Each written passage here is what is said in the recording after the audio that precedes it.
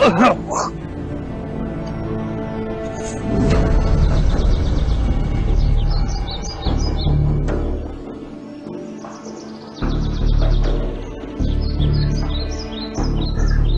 हुआ?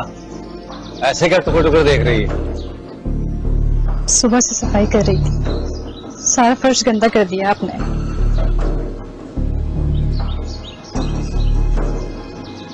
तू खुद भी तो सुथरी रहती है ना?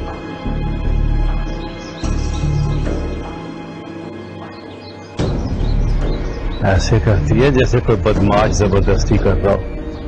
सुन, शादी से पहले तेरा कोई चक्कर वक्कर तो नहीं था? ज़िंदा काट दूँगा। अगर मुझे कभी धोखा देने की कोशिश की तो। कौन है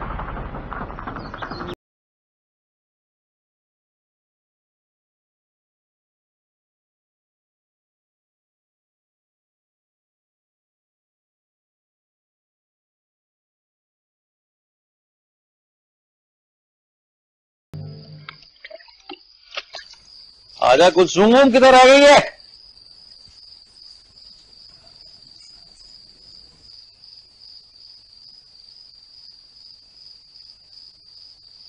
हाथ धोने के लिए पानी लाऊं? अभी तो धोए हैं। लेकिन वो तो गंदा पानी था। गंदा पानी था? मैंने टायर धोए थे उससे। कौन सा जूते धोए थे? जूते एक तरफ़ से गंदे होते हैं टायर दोनों तरफ़ से गंदे होते हैं। बीवी बन बीवी। मेरी उस्तानी ना बन। जा जाके जूते पॉलिश कर मेरे। चल उठ। जा ना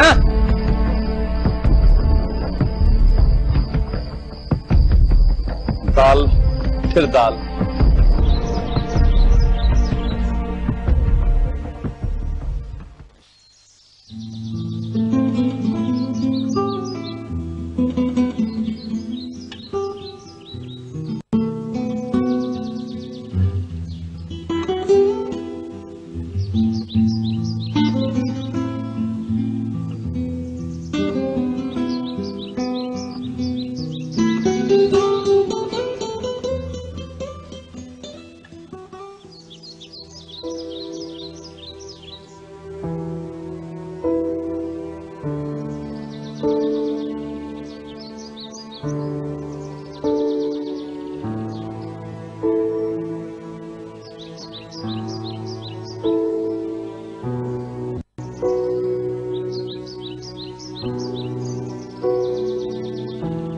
जरा उठ के देख मेरे दाल में क्या फंसा हुआ है। रात से बड़ी दर्द हो रही। है उठ के आ जरा जल्दी कर, सर में तेल भी लगा दे। वर्कशॉप जाना है। बड़ा काम है आज। आजा आजा आजा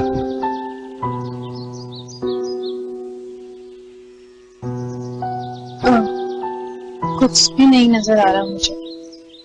उंगली डाल के देख ले मेरी उंगली से निकल नहीं रहा। इसलिए तुझे उठाया वहाँ से मैंने। आजा।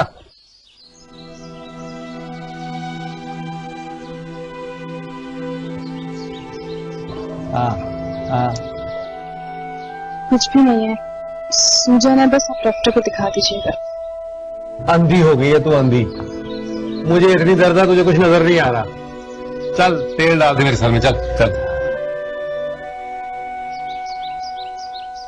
वो वो मेरे हाथ गंदे ना मैंने चावल साफ़ किए आपके सर पे मिट्टी लग जाएगी अभी धोकर आते हैं। चावल चुनने से तेरे हाथ गंदे हो गए। तो दाल ना चाल डाल दे तेल डाल जल्दी कर। चल। मैं अभी आती हूँ। भाई बड़े सफ़ाई का ख्याल है तुझे। क्या बात है? जब से घरवाली आई है तू हाथ ही नहीं लगता। लड़के बता रहे थे कि आजकल उस्ताद जल्दी घर चला जाता है। भाई ज़ाहिर है घर में जब जवान और खूबसूरत कम उम्र बीवी हो तो किसका दिल बाहर लगेगा? अरे रजू कम उम्र और खूबसूरत औरत की हिफाजत भी तो करनी पड़ती है। वैसे एक बात है आजकल की औरत पे भरोसा नहीं किया जा सकता। मौका मिलते ही कहीं ना कहीं टाका ज़रूर जोड़ती है। और फिर तेरी और उसकी उम्र में फ़र्क भी तो बहुत है ना। लेकिन एक बात याद रखो उसका ख्याल रखियो। और खास तौर पर उसे सायरा से बचा के रखियो एक, उसके मियाँ ने तो उसे आज़ाद छोड़ दिया। और याद रख, बीवी को बाहर जाने की छूट मत दीजिए अब हाँ हाँ नज़र रखता हूँ। शेर की नज़र रखता हूँ। आने जाने पर पाबंदी रखी हुई है मैंने उसकी। हाँ कभी कभार कोई ज़रूरत की चीज़ लेने चली जाती है। और सारा को तो मैंने सख्ती से मना किया है कि अगर मेरे घर के दरवाजे पे कदम रखा तो मैं टांगे तोड़ अरे भाई, वो बड़ी कमीनी औरत है। वो किसी के बाप से नहीं डरती। हाँ सही कहता है तू। है तो ढीठ कमीनी मेरी बात के जवाब में चिठाई से हंस रही थी। भाई उसका मियाँ भी बहुत बड़ा बेगैरत है। उसने अपनी बीवी को खुली छूट दी हुई। पता नहीं कहाँ कहाँ मुँह काला करती फिरती है। बस एक बात याद रख अपनी बीवी को अकेले बाहर मत जाने दे।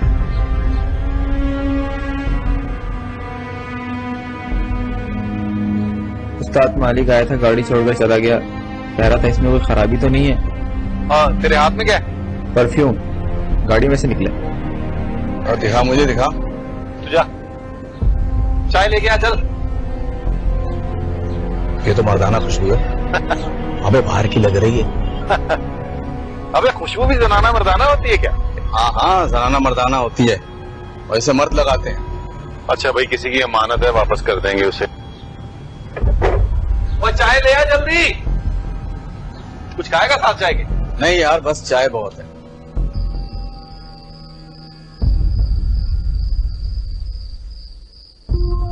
कुसुम तेरे घर में टीवी नहीं है क्या? अच्छा खासा तो कमाता है वो। है तो पर केबल नहीं है। सिद्दीक को लगता है कि फ़िल्में देख के कहीं मैं खराब ना हो जाऊँ। एक तो ये सिद्दीक जैसे मर्दों को ना हर औरत में हमेशा ही खराबी नज़र आती है। वैसे एक बात पूछूँ। तुम इतनी बदनाम हो। मेरा मतलब है तुम इतने अरसे से आ रही हो। मैंने तो कोई ऐसी चीज़ नहीं देखी तुमने। जो औरतें इज़्ज़त से खुद खाती कमाती हैं ना वो तुम्हारे सिद्दीक जैसे मर्दों को हमेशा ही खलती हैं। इन लोगों का बस नहीं चलता कि औरतों के हाथ पाँव तोड़कर उन्हें घर में बिठा लें और हर वक्त उनकी बेइज्जती करते रहें। मैं खुद कमाती हूँ, सिलाइयाँ करती हूँ, अच्छे पैमाने पे करती हूँ, इसलिए ऊँचे ऊँचे और बड़े घरानों में मेरा आना जाना है। लेकिन यहाँ पर ये गंदी जहनीत के लोग ये समझते हैं कि मैं इन बड़े बड़े घरों में अपना मुँह काला कराने जाती हूँ। और इन सारी इल्ज़ाम तराशियों में सबसे आगे वो खबीज रंजू है। तुम्हें पता है जहर लगता है मुझे। मोहल्ले भर की दाई। उसका बस चले ना। सारे जहान की कुंवारी लड़कियों को पेट से बताए। कमीना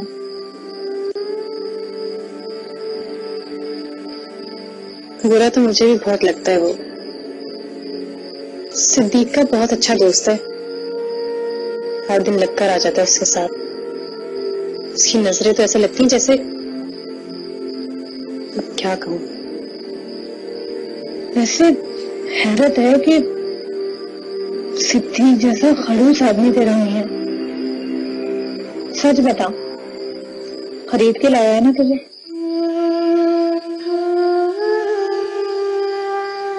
बाकायदा तो नहीं, लेकिन बाबा की बीमारी का खर्चा उठाया था इसमें बाबा ने निकाह करके अपना एहसान उतार दिया।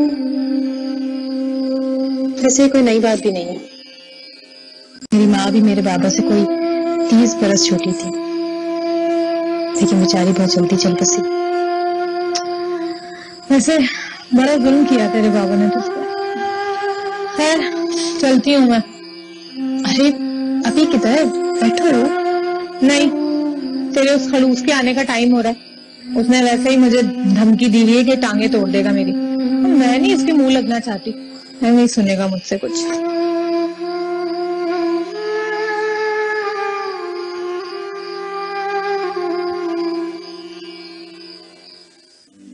कितने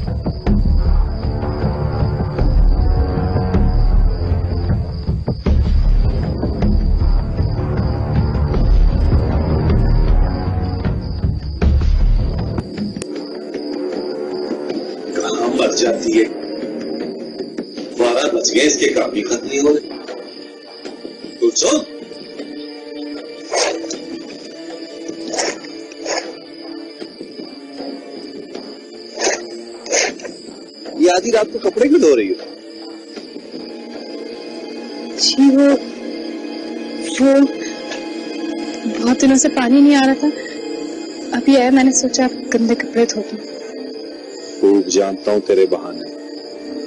किस यार को दिल में बसाए बैठी है जो मुझसे कन्नी कतरा रही है?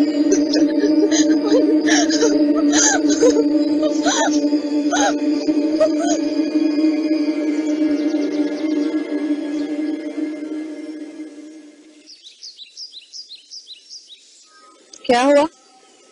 सिद्दीक ने फिर मारपीट की है क्या? मारपीट तो पुरानी बात है। पुरानी बात है? तो नई बात क्या हो गई? बात तो पुरानी है, मगर हर बार नहीं लगती है। बता ना, तुझे मेरी कसम। कहीं सिद्दीक दूसरी शादी तो नहीं कर रहा? काश काश ऐसा हो जाए। मैं यूँ रोज रोज मरने से तो बच जाऊँ। क्यों पहेलियाँ बुझवाए जा रही है? बताना क्या हुआ है? तुम्हें मालूम तो है। कितनी बार बताऊँ तुम्हें? बार बार बताने से तो मुझे खुद भी शर्म आती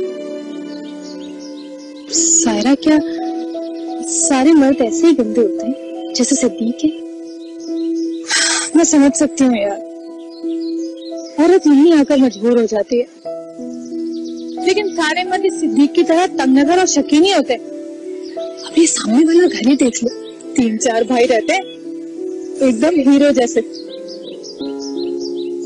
आसर भाई।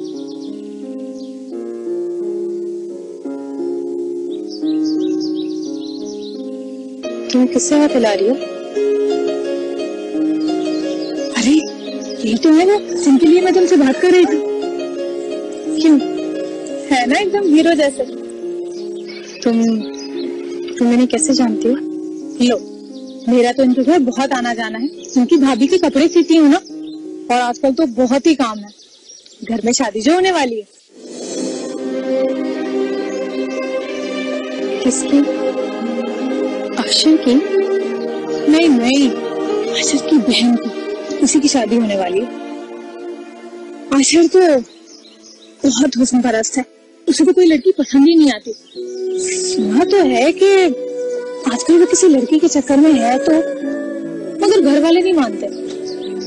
उसी की तरह कोई होगी, अमीर पढ़ी लिखी खूबसूरत। हम्म तो अपने घर वालों का बड़ा लाडला है। घर वाले अभी तो नहीं मान रहे, लेकिन मान जाएँगे। और ज़ाहिर है, लड़की भी उसी की तरह होगी। तू अपना दिल ना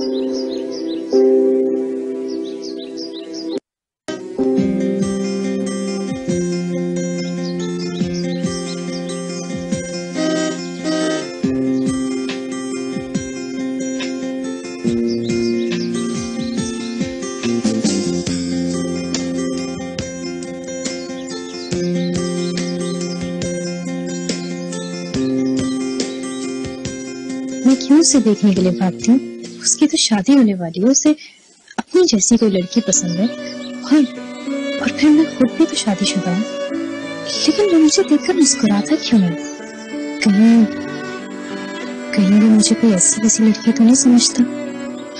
नहीं, मैं अब उसे नहीं देखूँगी। अच्छा तू ये तो देखना देख मैं क्या क्या लाई हूँ तेरे लिए। ये देख। ये नहाने के बाद ना जिसम पे छिड़कने वाली खुशबू इससे बदबू नहीं आती। और और, ये देख, ये पता है क्या है? इसे कहते हैं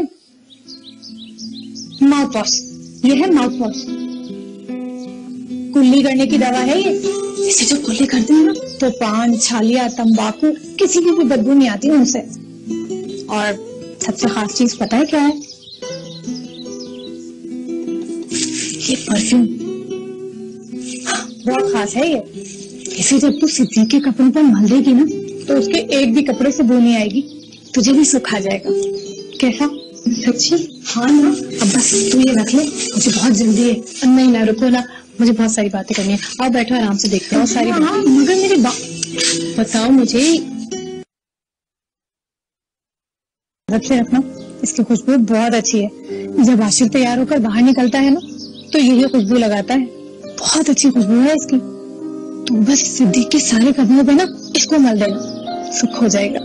लेकिन अगर उसने मुझसे पूछ लिया कि ये सब कहाँ से है तो तो तुम कह देना कि तुमने खरीदी है भाई। ऐसी चीज़ें खरीदना गुनाह नहीं होता। क्या हुआ? हंस क्यों रही है तू? बात ही ऐसी है। तू सुनेगी ना तो तुझे भी हँसी आ जाएगी। लेकिन मैं ये बात तुझे बड़े सुकून और इतमान से बताना चाहती हूँ। फ़िलहाल मैं बहुत जल्दी में हूँ। मौका मिला तो कल ज़रूर आऊँगी। तू अपना ख्याल रखना। अल्लाह हाफिज। अरे बता के तो जाती।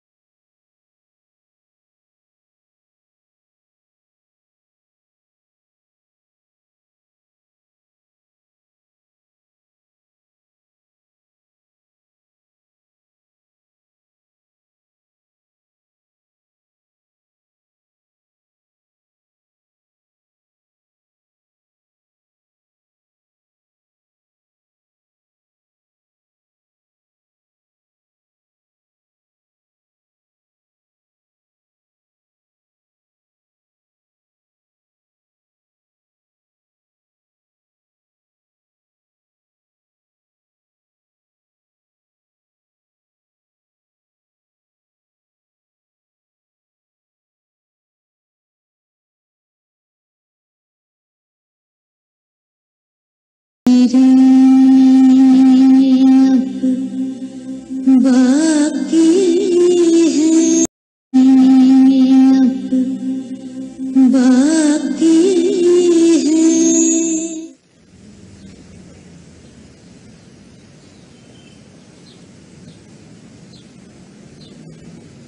बात है? आज बड़ा घूर घूर के देख रहा तू। आजकल तू बड़ी देर देर से घर जाने लगा है। और यार रजू क्या बताऊँ? मालिक भी शहर से बाहर है फिर तेरे सामने काम बहुत है। और बीवी जो घर में अकेली अकेली रहती है उसकी फ़िक्र नहीं है तुझे? तो बीवी कौन सा भागी जा रही है? अब भाग गई तो? फजूल बातें मत कर। फजूल बातें नहीं कर रहा हूँ। तेरी बीवी का रिश्ता है मेरे पास। क्या बकवास कर रहा है? अबे बकवास नहीं कर रहा। तेरे घर के पीछे बंगले में जो लोग रहते हैं ना बहुत दौलतमंद और अमीर हैं। उनका लड़का तेरी बीवी से शादी करना चाहता है। हाँ। अबे दरअसल तुझे कुलसुम का बाप समझ रहा था। कह रहा था कि उसे इस बात से गरज नहीं है कि तू गरीब है। उसे सिर्फ़ और सिर्फ़ लड़की चाहिए। अबे तेरी मर्ज़ी पूछ रहा था। वो कह रहा था, अगर तू रजामंद है तो अपने घर वालों को भेजू बाकायदा रिश्ते के लिए। और तूने ये सारी बकवास सुन ली। अब मेरा दिल जला रहा है। तूने इसे बताया नहीं कि अबे, बता दिया था, बता दिया था। आँखों में आँखें गाड़ कर अच्छी तरह समझा भी दिया था। जब उसे असल बात का पता चला ना तो मुझसे माफ़ी मांगने लगा और बहुत शर्मिंदा हुआ। कह रहा था, मैं तो ये मोहल्ला ही छोड़कर चला जाऊँगा। और जहाँ तक मेरी मालूम है, वो चले भी गया। वैसे भी उन्हें शादी के सिलसिले में दूसरे शहर में जाना था। और तू आप बता रहा है? अबे, मैं ज़रूरी काम से गया हुआ था। मैं आज ही तो आया हूँ। मगर मैं ये सोच रहा था कि ये गलत फहमी है या इसने कुलसुम को कहीं देखा भी है। देखा है या मुलाकात हुई है? अरे, आजकल की बीवियाँ अपने शौरों की आँखों में धूल झोंक कर इधर उधर दिन बहलाती फिरती हैं। और तेरी बीवी ने भी यही खेल रचाया होगा। अब उसे बताया नहीं होगा कि वो शादीशुदा है। वैसे एक बात है, लड़के के चेहरे से लग रहा था कि वो तेरी बीवी से बड़ा इश्क करता है। देख लूँगा उसके आशिक को भी। और इस आवारा को भी मैं ज़िंदा नहीं छोड़ूँगा हमें बता तो दिया है कि वो शादी करने दूसरे शहर जा चुके हैं। अब वो तेरे घर में नहीं आएँगे। वैसे अपनी चीज़ की खुद ही हिफाजत करनी चाहिए। अबे बंद कर देना साली को। बाहर से ताला डाल दे। वैसे एक बात कहूँ, इस सारे खेल में कहीं ना कहीं सायरा का हाथ ज़रूर। ये मेरा दिल कह रहा है, क्योंकि कुछ दिन पहले मैंने तेरे घर के आसपास उसे देखा था। अगर सबूत मिल गया तो मैं उसकी आँखें निकाल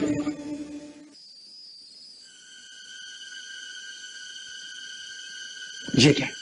कहाँ से आएगी? क्या ये? ये मैंने खरीदा है।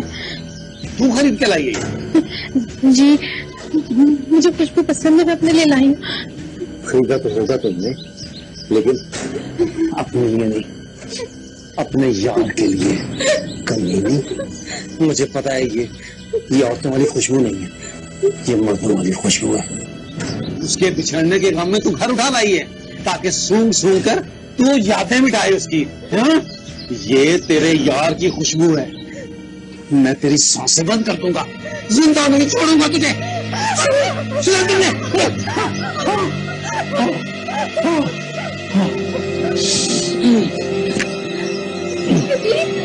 तुमने क्या हो गया आपको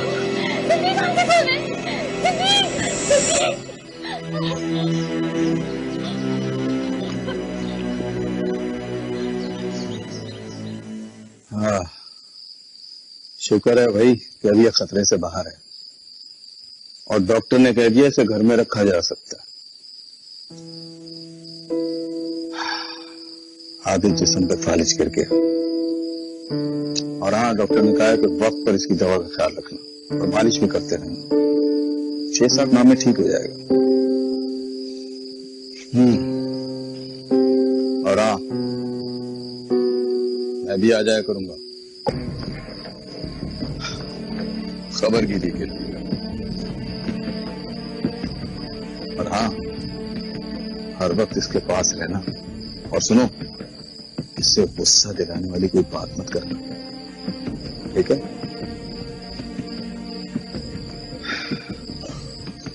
अब मैं चलता हूँ।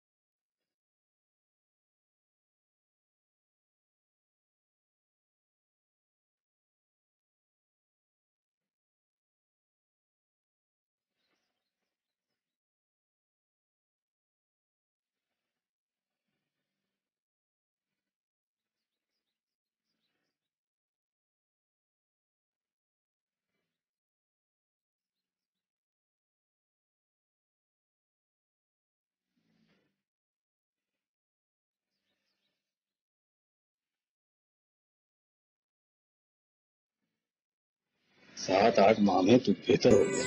पहले से बहुत बेहतर हो गया। और जबान भी साफ़ हो गई थी। हाँ ये बाजू भी काम कर रहा है। लेकिन यार, ये टांग नहीं जान पकड़ गई मुझे लगता है इसमें कुछ वक्त लगेगा। हाँ मैं से मैं तंग आ गया हूँ। तो ज़िंदगी से। मैं ये सोच रहा हूँ कि तुझे वाकई फालिज हुआ था या तेरी बीवी ने तुझे रास्ते से हटाने के लिए खिला पिला दिया। था डॉक्टर को तो ये बात हमें बताएँगे मालूम नहीं यार। अबे मैं तो जितना इस बात से कुड़ता रहता हूँ कि उसे कैद कर लूँ तो उतना ही उसे बाहर जाने का मौका मिलता है। वैसे भाई आजकल बड़ी मुल्लानी बन रही है। नमाज़ के साथ साथ बच्चों को कुरान शरीफ भी पढ़ा रही है। जानता हूँ अच्छी तरह इसके सारे हथकंडे। मेरी दवा के बहाने। पता नहीं क्या गुल खिला रही है ये बाहर। एक बार मैं ठीक हो जाऊँ। रंगे हाथों पकड़ूँगा इसे। सुन, तू नज़र रखना इसमें अरे, मैंने पूरी नज़र रखी हुई है। बड़ी बाज वाली नज़र है मेरी। तू बेफिक्र हो जा। मैं चलता हूँ, तू आराम कर। अल्लाह अल्लाह हाफिज।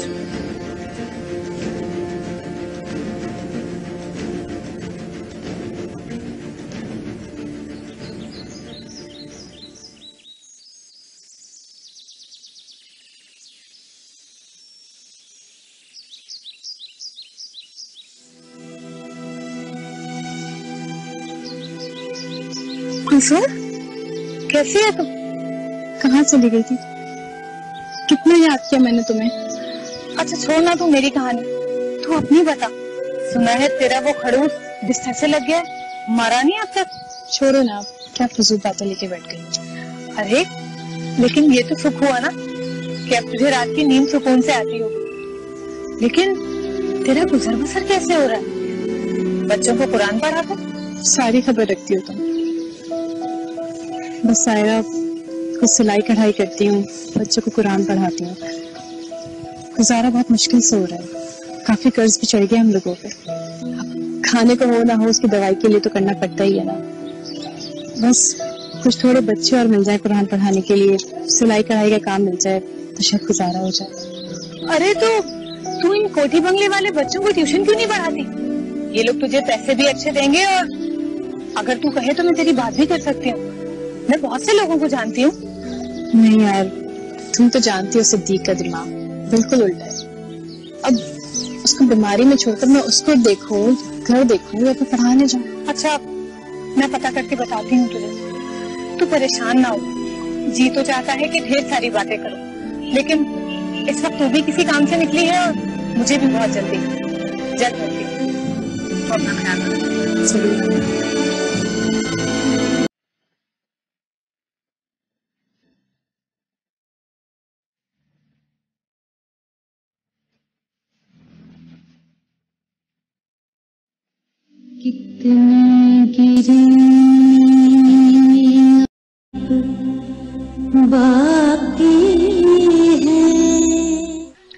कोठी वाले अपने बच्चों को भेजने के बजाय खुद उस्ताद को घर पे बुला लेते हैं पढ़ाने के लिए।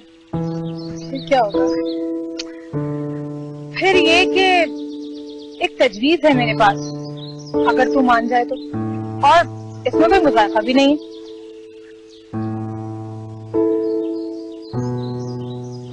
वो गली है ना सामने वाली?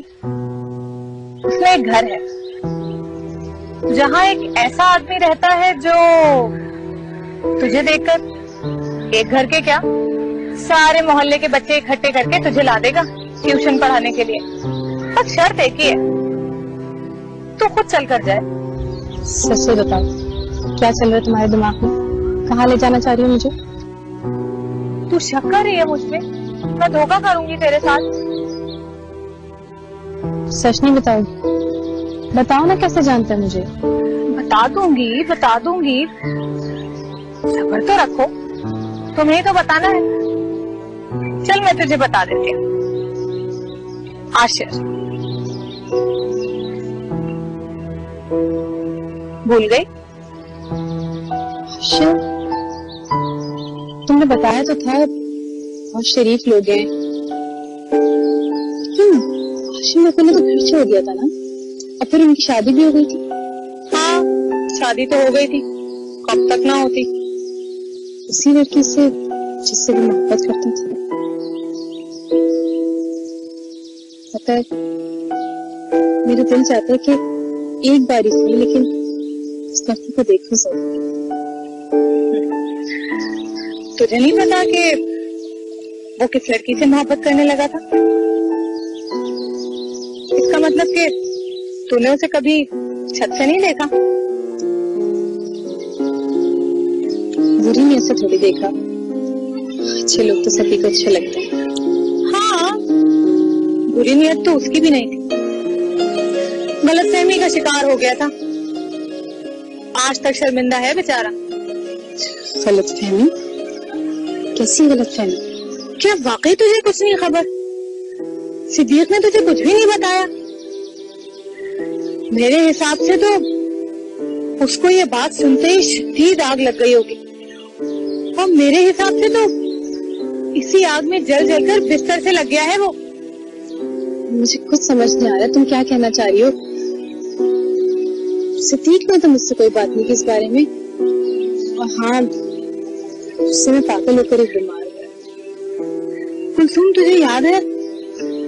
जब मैं गाँव जाने वाली थी तो तुझे एक धमाका खेस खबर सुनानी थी मुझे। लेकिन मैं उस वक्त तुझे बता नहीं सकी। थी वो खबर ये थी कि आशिर जिस लड़की से मोहब्बत करता था, वो कोई और नहीं। तू थी। सिर्फ़ तू।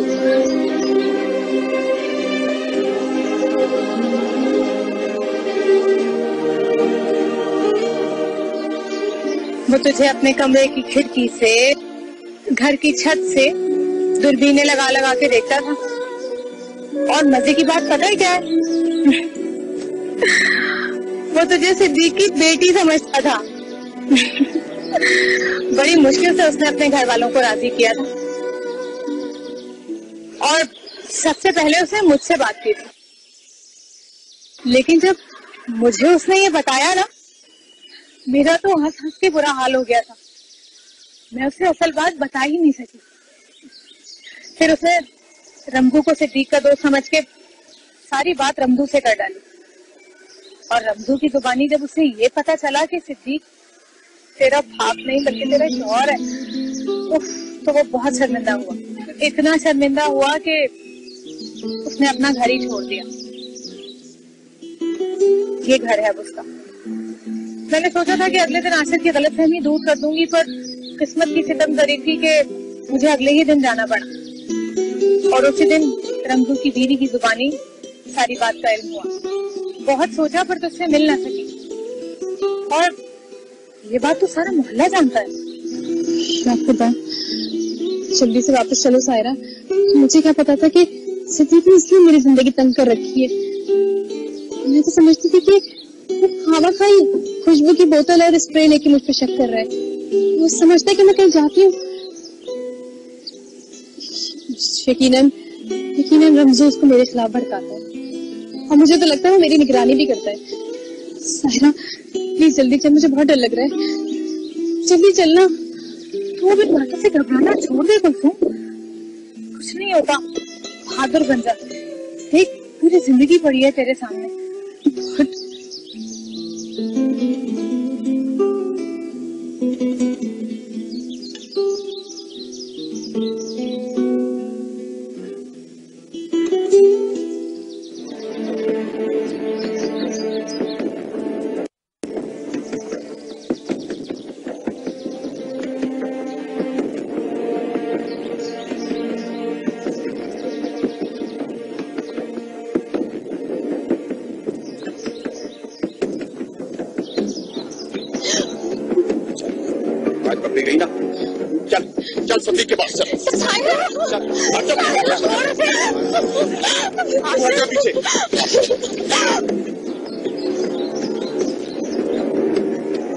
मेरे साथ ये ले ये ले संभाल अपनी बीवी को।